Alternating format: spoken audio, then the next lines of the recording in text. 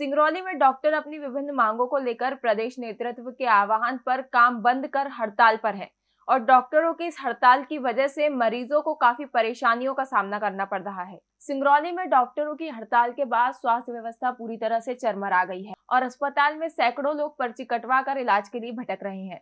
Doctors अपनी तीन सूत्री मांगों के पूरा नहीं होने पर बेमियादी हड़ताल पर अड़े हुए हैं। वहीं जिला प्रशासन से लेकर अस्पताल प्रबंधन में खलबली मची हुई है।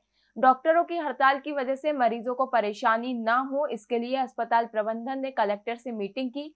अस्पताल प्रबंधन ने इमरजेंसी सेवाएँ बहाल रखने 10 डॉक्टर एनटीपीसी और एनसीएल से बुलाए हैं। डॉक्टरों की हड़ताल के बाद ज़िले से लेकर ग्रामीण क्षेत्रों तक के सभी सामुदायिक स्वास्थ्य केंद्रों में मरीज़ इलाज के लिए भटक रहे हैं। वहीं जिला मुख्यालय में छत्तीसगढ़ और उत्तर प्रदेश के भी बॉर्डर इलाके से मरीज़ आते हैं।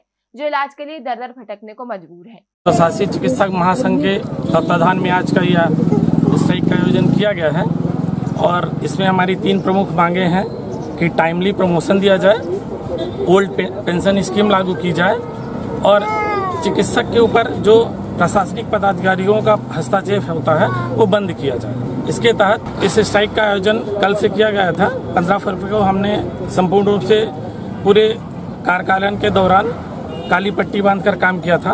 आज दो घंटे का स्ट्राइक किया गया है और कल से सत्रह से पूर्णकालिक स्ट्राइक का आयोजन किया जाएगा।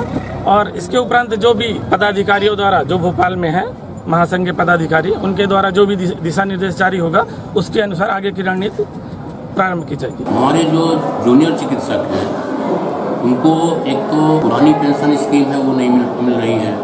नई पेंशन स्कीम वाला उनके यहाँ लागू हो गई है। एक तो उनकी डिमांड ये है। दूसरी जो समयबद्ध प्रमोशन का है वो सबको बराबर नहीं मिल पा रहा है। किसी को 20 साल में एक पहला प्रमोशन मिलता है किसी को तीन चार साल मिल जाता है। कोई मतलब तो एक उसका समयबद्ध प्रमोशन की एक वो होना चाहिए ग्रेडिंग होना चाहिए। कल से तो ये दोनों मांगे लेके हमारे चिकित्सक बंद स्ट्राइक में हैं आज दो घंटे की स्ट्राइक में है वो दस से बारह के लिए बारह बजे के बाद वो फिर कार्यरत हो जाएँगे मरीजों को देखना शुरू करेंगे। आज उनका जो है पहला दिन है वो दो घंटे का है दस से बारह बजे के लिए। ये हमने एनसीएल और एन के चिकित्सा जो वहाँ के मुख्य सीएमओ हैं उनसे हमने पाँच पाँच चिकित्सकों की मांग की है जिससे हमारी इमरजेंसी सेवाएँ बाधित न हो। उसके लिए हमने उनसे मांग रखी है और अभी प्रशासन कलेक्टर साहब से चर्चा करेंगे। सीना में हाँ। दाहिने तरफ़ हाँ। छत्तीसगढ़ से आए हैं? हाँ। और पेट में गैस बनता है और दर्द होता है भूख नहीं लगता है दर्द बहुत अरे यहाँ यहाँ हम तो कल आए कल से पर्ची लगाए अभी कोई डॉक्टर नहीं बैठे हैं। तो हम क्या किसको दिखाएँ? पर्ची भी अभी लगी है।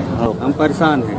नहीं वो तो नहीं बोल रहे हैं कि डॉक्टर साहब से हमसे भेटे नहीं हुआ है तो हम क्या बताएँ? वहाँ नहीं बैठे। वो खबरें जो आपके काम की है वो खबरें जो आपके लिए ज़रूरी है। हर आम और खास से जुड़े मसले। हर मसले का सटीक विश्लेषण। हम करते हैं सत्य का अन्वेषण। दखल न्यूज़। आपके हक में। आप देख रहे हैं दखल न्यूज़।